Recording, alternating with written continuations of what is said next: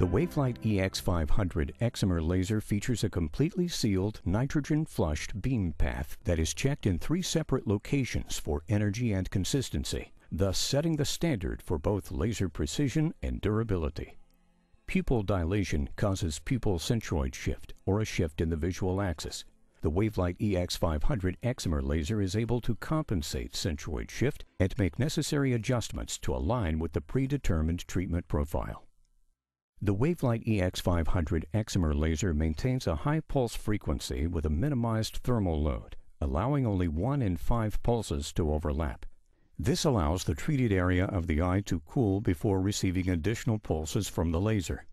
This treatment algorithm provides a market-leading treatment rate of approximately 1.4 seconds per diopter.